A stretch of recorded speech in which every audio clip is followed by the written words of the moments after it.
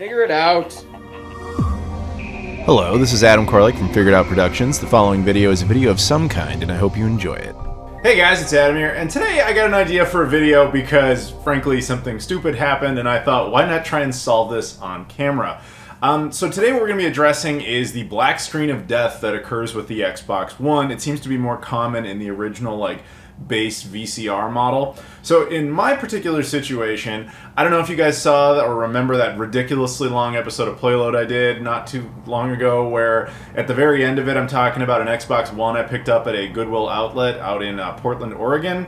Uh, it was this console. I got it for $5. I found it in a junk bin. So you would think that this video is like, oh, he fired it up and it didn't work. No, that is not the situation. In fact, in that video, I fired it up and it worked totally fine. Uh, after I was done with all that, I decided to reformat the console, clean it up, put my own account on it. Everything's good to go. So in fact, I'm going to fire it up right now. I've also taken the liberty of cleaning it up so you can see what it originally looked like, which was uh, it wasn't awful. It was just a lot of dust in the vents and in the controller port, or well, the, the controller port, the USB ports, as well as the disk drive. And there was this big white like scuff mark on it. But I, I managed to clean all that up and give it a nice surface cleaning. I didn't take it apart or anything because Xbox Ones are not the easiest console to take apart. But regardless, my point is that this console actually worked totally fine. Um, so you can see it set up here on the Lepow screen, this little 14-inch portable monitor they hooked me up with and it boots up just as normal. Of course, the original uh, version of the Xbox One had the longest boot up time of any of these consoles. But uh, yeah, so you get the green screen, which incidentally is going to look a lot better to you. I have to actually look through the camera to see it. Uh, but once it's past that screen, you can see the dashboard as normal, and now it's you know totally you know set up with my account information. Now we don't actually need this to run, so what we're going to do is go ahead and turn it off. Um, so yeah, turn off that console. But as I said, that's how it should look and that's how it should work. Um, however, I had this console, you know, set up and it was done, and I was like, you know what? While I have everything wired up and everything, I should go ahead and you know update my original base uh, Xbox One, the one that I got that I did a video on back in 2013, uh, back when I first got the system. I thought, yeah, that makes sense. We'll just, you know, occasionally turn it on and give it its updates, right? So I go ahead and I do that, and then that's how you get this console. This is the one I've had since 2013, right? And so I was like, all right, fire the console up just like that, and it gives me uh, the update screen, right? And I proceed with that update. It's like a four and a half gig update, at least at the time I make this video, and everything goes just fine, right? But afterwards, after the update's over, it gives me problems, which you're about to see here. So it doesn't, fir at first it looks like everything's okay. You can see the green screen there that came up and everything, and as per usual, it's going to take its long time uh, loading up. But this is when I was first introduced to the concept of the uh, Xbox One black screen of death, which, unless I get horribly proven wrong here, it should appear in any moment um, which is just really unfortunate. But uh, fortunately, there is a solution to this uh, that I'm going to try doing live here, if you will, and we will see if it works out or not. Um, but first, we have to actually prove that uh, it did, in fact, actually there. Okay, so now it's gone black, right? So it doesn't go past the screen and it doesn't really do anything else. You can click on stuff and nothing really happens. The one reaction you typically can get out of it is if you hold down the center button here, that screen pops up. You know, the one that allows you to turn the console off and all that sort of stuff. But that's it. That's the only thing that happens. So we're going to go ahead and turn the console off again. Uh, and wait for it to completely shut down. And then there are three potential solutions for this, and it's really up to you which one you're going to do. I know which one I will do, but I'll, I'll, let you guys make that decision. We'll talk about them a little bit as we go.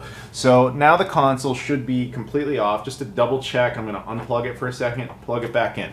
So at this point, what we want to do is put the console into safe mode. And in order to do that, you basically first fire up the console, then you hit the uh, sync button on the side and the disk drive, and then you just hold that for a moment. And it should beep again. There you go. So now we have the console in safe mode. So if you hit continue, that'll just take us right back to that black screen of failure. Uh, so then you have the options to reset the Xbox, and you have the option to do an offline system update. Now, offline system update theoretically could solve this problem for you. Um, but I won't be doing that uh, because I don't think that that's the issue. Plus, I don't want to go around downloading the firmware and all that sort of stuff. So what we're going to do instead is reset this Xbox. And then you're given two options. So here's the second and third option. One is to reset it but keep all of your games and settings, etc. And the other is to do a complete refresh, just a total restoration. Now, I think most people would opt for the keep your games and stuff. I'm actually going to go with the full reset. And my reasoning is this Xbox really doesn't have anything on it. It's not the primary one I use or anything like that. So I really have no reason to risk a problem still being there when there's nothing important on it. So we're going to go for complete and total system restoration. So I'm going to tell it to do that and we're just going to see how this goes. So the process is now essentially complete. That was actually incredibly simple. I just followed the very basic prompts, which not surprisingly was, hey, use the controller, press the button, uh, give us all your language settings, tell us where you are geographically, log into your account, and then it's just the usual Microsoft prompts about like, do you want Xbox Game Pass? And do you want us to sell your information? you know, like all that sort of stuff. Honestly, child's play. You just kind of go through all that sort of stuff. Then once you're back into the console, you can go into your archives of your, uh, you know, where you have your digital games or you have your, uh, in this case, just apps is the only thing I'm re-downloading. Things like Disney Plus and Netflix because uh, honestly, an older Xbox One like this, to me, its only real function is just a streaming service device for Disney Plus and Netflix that I can put in different rooms or whatever, uh, or just as a display piece. But I certainly did not want the console to actually be dead because then it is truly useless. But uh, yeah, so in my case, like I said, the whole console is now completely refreshed. Very simple uh, fix. Um, if you're adamant about keeping all the stuff on there, like you know you saw before, that is an option. You can do that. Uh, it's just that that risks the, the, issue potentially not being solved and still having uh, certain little bugs in there. In this case, there really was no reason to do that, just because this console had nothing on it other than my profile, which is exactly what I just reattained. So no big deal. And then the third option of doing the you know system update again through a USB device really not necessary because uh, once you restore it and all that and it does any sort of system update if it needs it which ironically it actually didn't uh, then that potentially could fix it. But it's just it's just more work that you don't really need to do. This is just the simplest fix, and I was able to do this in real time on the video. So there you go. Um, no, it is it is. I just think it's hilariously ironic because and proof that this is the one that was original is you can see that the the disc mechanism thing there, the little sticker is not on it anymore, whereas the Goodwill one still has that just like it had in the video. Obviously, this one has some scarring and stuff like that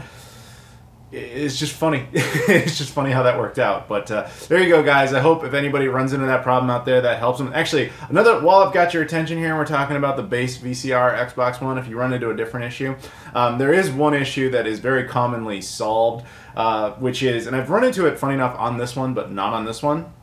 Which is when you put a disc in, sometimes the console just kind of like can't acknowledge the disc.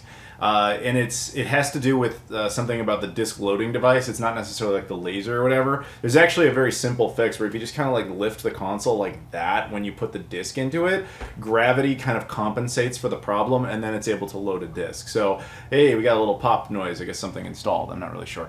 Um, but anyway, so yeah, you can uh, do that. Hopefully that helps you with your Xbox Ones. And uh, thank you guys very much for watching. If you guys could please like, comment, subscribe, all that sort of stuff. Uh, check me out on Instagram, Facebook, Patreon, Discord, all that sort of stuff's in the description. I appreciate that as always. Please leave a comment, seriously, and a like. I, it seriously does help the channel a lot. Thank you guys very much for watching, and I'll see you all later.